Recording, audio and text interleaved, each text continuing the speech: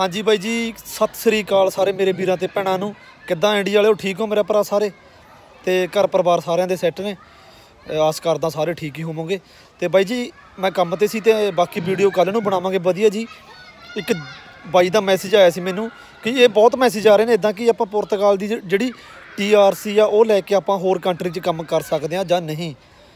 ਤੇ ਇੱਕ ਬਾਈ ਦਾ ਮੈਸੇਜ ਆਇਆ ਸੀ ਕਿ ਆਪਾਂ ਪੋਲੈਂਡ ਤੋਂ ਜਾਂ ਹੋਰ ਕੰਟਰੀ 'ਚ ਪੁਰਤਗਾਲ ਕਿੱਦਾਂ ਐਂਟਰ ਹੋ ਸਕਦੇ ਆ ਤਾਂ ਮੇਰੀ ਗੱਲ ਸੁਣੋ, ਪਹਿਲਾਂ ਤਾਂ ਮੈਂ ਤੁਹਾਨੂੰ ਦੱਸਣਾ ਚਾਹਣਾ ਕਿ ਜਿਹੜੀ ਟੀਆਰਸੀ ਹੁੰਦੀ ਹੈ, ਉਹਦਾ ਮਤਲਬ ਹੈਗਾ ਟੈਂਪਰੇਰੀ ਰੈਜ਼ੀਡੈਂਸ ਕਾਰਡ ਜਿਹੜੀ ਟੈਂਪਰੇਰੀ ਕਾਰਡ ਹੁੰਦਾ ਜਿੱਦਾਂ ਉਹ, ਜੇ ਕੱਲ੍ਹ ਨੂੰ ਤੁਸੀਂ ਪੁਰਤਗਾਲ ਦੇ ਵਿੱਚ ਕੋਈ ਵੀ ਪ੍ਰੋਬਲਮ ਪ੍ਰੋਬਲਮ ਕਰਦੇ ਹੋ, ਕੋਈ ਕਿਸੇ ਦਾ ਕਤਲ ਕਰਦੇ ਹੋ ਕੁਝ ਵੀ ਕਰਦੇ ਹੋ, ਤਾਂ ਤੁਹਾਨੂੰ ਉਹ ਵਾਪਸ ਇੰਡੀਆ ਭੇਜ ਸਕਦੇ ਨੇ।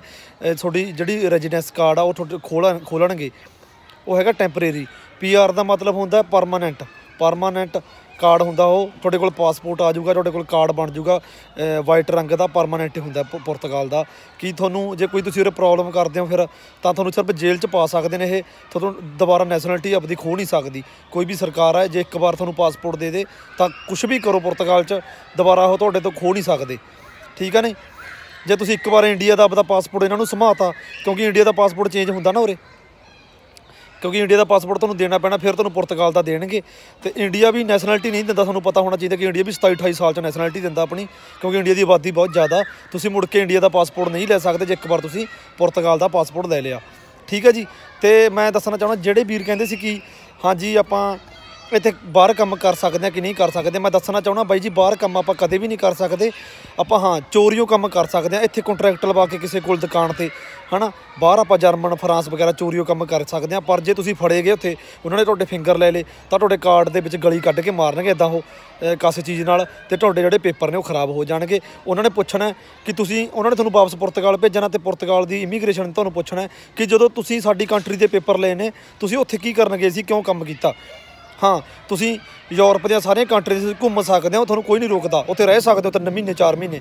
ਪਰ ਜੇ ਕਿਤੇ ਕੰਮ ਕਰਦੇ ਫੜੇਗੇ ਫਿਰ ਔਖਾ ਹੋ ਜਾਣਾ ਉਹ ਬਥੇਰੇ ਬੰਦੇ ਕਰ ਵੀ ਰਹੇ ਨੇ, ਫੜੇ ਵੀ ਨਹੀਂ ਜਾਂਦੇ। ਪਰ ਜੇ ਕਿਸਮਤ ਮਾੜੀ ਹੋਵੇ ਤਾਂ ਫੜੇ ਵੀ ਜਾ ਸਕਦੇ ਆ ਇਸ ਕਰਕੇ ਬਾਹਰ ਜਾ ਕੇ ਕੰਮ ਕਰਨ ਦਾ ਕੋਈ ਫਾਇਦਾ ਨਹੀਂ ਹੈਗਾ। ਹਾਂ ਉਰੇ ਤੁਹਾਨੂੰ ਪਹਿਲਾਂ ਤਾਂ 3-4000 ਜ਼ਰੂਰ ਕੰਟਰੈਕਟ ਦਾ ਦੇਣਾ ਪੈਣਾ ਫਿਰ ਹਰ ਮਹੀਨੇ ਤੁਹਾਨੂੰ ਉੱਥੋਂ ਟੈਕਸ ਭੇਜਣਾ ਪੈਣਾ 200 ਯੂਰੋ 180 ਯੂਰੋ ਟੈਕਸ ਹੈ ਜਿਹੜਾ ਉਹ ਭੇਜਣਾ ਪੈਣਾ ਜਿਹੜਾ ਬੰਦਾ ਤਾਂ, ਕਈ ਵਾਰ ਬੰਦਾ ਜਿਹਦੇ ਕੋਲ ਤੁਸੀਂ ਕੰਟਰੈਕਟ ਲਵਾਇਆ ਉਹ ਤੁਹਾਡੇ ਆਪਣਾ ਪੈਸੇ ਵੀ ਨਹੀਂ ਭਰਦਾ। ਟੈਕਸ ਨਹੀਂ ਭਰਦਾ, ਤੁਹਾਨੂੰ ਬੈਠੇ ਨੂੰ ਉੱਥੇ ਪਤਾ ਨਹੀਂ ਲੱਗਦਾ ਕਿੱਦਾਂ ਟੈਕਸ ਹੈ। ਜੇ ਕੱਲ੍ਹ ਨੂੰ ਫੜੇਗੇ ਤਾਂ ਵੀ ਪ੍ਰੋਬਲਮ ਤਾਂ ਇਸ ਕਰਕੇ 7 ਸਾਲ ਲੱਗਦੇ ਨੇ 8 ਕ, ਤੇ ਇੱਥੇ ਲਾ ਕੇ ਆਪਣਾ ਪਾਸਪੋਰਟ ਲਓ ਤੇ ਨਜ਼ਾਰੇ ਲਓ।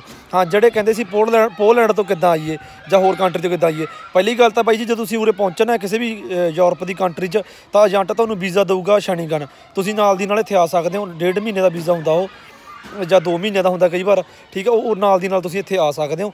ਬਾਕੀ ਜੇ ਨਹੀਂ ਵੀ ਇਦਾਂ ਕੋਈ ਹੱਲ ਬਣ ਰਿਹਾ, ਤਾਂ ਵੀ ਪੁਰਤਗਾਲ ਤੁਹਾਡੇ ਪੇਪਰ ਬਣਾਉਂਦਾ, ਆਪਾਂ ਟੈਕਸੀ ਰਾਹੀਂ ਆ ਸਕਦੇ ਹਾਂ। ਉਰੇ ਬਥੇਰੇ ਪਾਕਿਸਤਾਨੀ ਬੰਦੇ ਨੇ ਜਿਹੜੇ 400 ਯੂਰੋ ਲੈਂਦੇ ਨੇ 300 ਯੂਰੋ ਲੈਂਦੇ ਨੇ, ਟੈਕਸੀ ਰਾਹੀਂ ਤੁਹਾਨੂੰ ਯੂਰਪ ਤੋਂ ਯੂਰਪ ਕੰਟਰੀਆਂ ਉਹ ਭੇਜਦੇ ਨੇ ਇੱਧਰ ਉੱਧਰ ਠੀਕ ਹੈ ਜੀ? ਇਹ ਤੋਂ ਵੱਡੀ ਕੋਈ ਵੱਡੀ ਕੋਈ ਮਸਲਾ ਨਹੀਂ ਹੈਗਾ, ਜਰਮਨ ਤੋਂ ਵੀ ਆ ਕੇ ਪੇਪਰ ਬਣਾ ਸਕਦੇ ਨੇ ਬੰਦੇ, ਜਿਹਦੇ ਪਾਸਪੋਰਟ ਤੇ ਜਰਮਨ ਦਾ ਵੀਜ਼ਾ ਹੈ, ਜਾਂ ਜਿਹੜੇ ਉਰੇ 4 ਸਾਲ ਜਿਹਦੇ ਜਰਮਨ ਚ ਲੱਗੇ ਨੇ, ਫਰਾਂਸ ਚ ਲੱਗੇ ਨੇ, ਤੁਸੀਂ ਪਹਿਲਾਂ ਪੈਸਾ ਕਮਾ ਲਿਆ ਤੁਸੀਂ ਉਸ ਤੋਂ ਬਾਅਦ ਹੁਣ ਪੁਰ- ਪੁਰਤਗਾਲ ਦੇ ਪੇਪਰ ਬਣਾਉਣਾ ਚਾਹੁੰਦੇ ਹੋ, ਤਾਂ ਤੁਸੀਂ ਬਣਾ ਸਕਦੇ ਹੋ, ਕੋਈ ਦਿੱਕਤ ਨਹੀਂ ਹੈਗੀ ਮੇਰਾ ਭਰਾ। ਤੇ, ਹਨਾ, ਠੀਕ ਹੈ ਜੀ?